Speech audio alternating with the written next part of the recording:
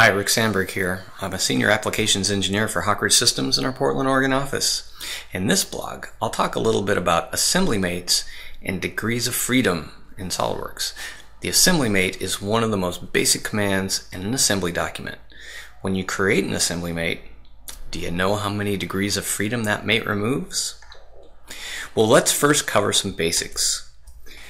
When you first drop a component into an assembly, it gets fixed in place, the little F in front of it. That means there are no mates and no mates that need to be solved. This is good because solving mates can be the most time consuming part of an assembly rebuild. So every other component that we drop in will have six degrees of freedom, right? It can move in X, Y, and Z for three, and it can rotate around X, Y, and Z for another three. As long as it has degrees of freedom, it has the dash in front of it. Our assembly mates are there to rob our components of their degrees of freedom. Most of us don't even think about um, the degrees of freedoms and mates. And so what happens is we get redundant degrees of freedom removed. But not to worry, this isn't really a horrible situation and we don't really need to pay too much attention. But sometimes it can be important. When our assembly rebuilds become very slow or if we get assembly mate errors that we can't explain, then it's probably time to start looking into this. So let's just look at the some basic um, coincident mates and the degrees of freedom removed. In this slide I have six different coincident mates from the vertex to face mate which removes just one degree of freedom to vertex to edge and edge to face mates which re each remove two degrees of freedom and then face to face and vertex to vertex mates, which each remove three degrees of freedom, and finally an edge to edge mate, which removes four degrees of freedom. So let's look at a practical example of doing some face to face mates and see what I mean by redundant um, removal of degrees of freedom. If I do a coincident mate between these two side faces of the block, it removes three degrees of freedom. Which degrees?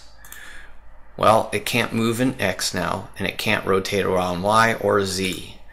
So let me do a second one to, let's say, the front faces of these two blocks.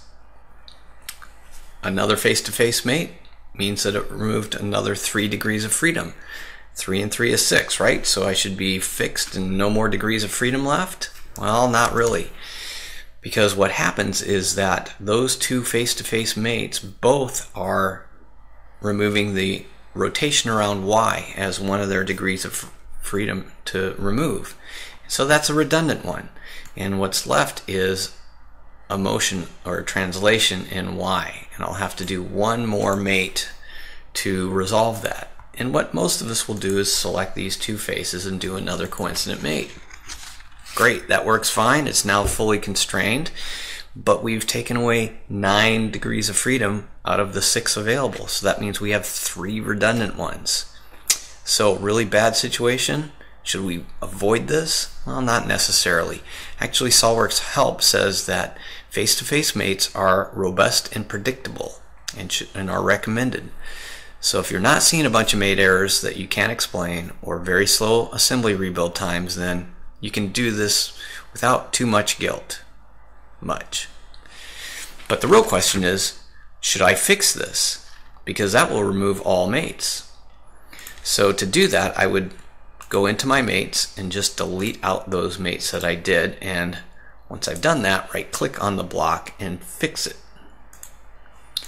Now it's locked in place, no mates to solve, no mate errors to have on it. Great, right? But you have to be careful because it's not going to update with changes either. If I change a dimension on this block, go to 8 inches and rebuild it, ooh, now they're not next to each other anymore because it's fixed into place. So you have to determine whether it really makes sense for you to fix things or not. So ideally what we would create is just the right number of mates to take away exactly the number of degrees of freedom required, no more, no less with no redundant mates. In reality, this is usually more trouble than it's worth. Still, it's good to be aware of the redundancies that you might have. Let's take a look at some example cases. Here's a case where I have exactly six degrees of freedom removed from three different mates. And edge to edge takes away four degrees of freedom, and then two face to vertex mates, coincident mates, will remove one degree of freedom each. Perfect. All right, well, let's look at another one. Here's one that's not quite perfect, but almost.